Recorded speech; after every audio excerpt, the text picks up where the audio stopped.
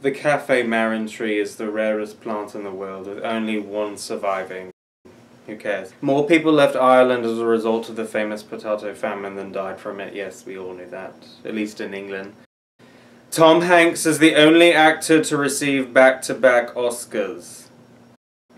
Crap! Spencer Tracy did it in 1937 through 38. Wow. I did not know that.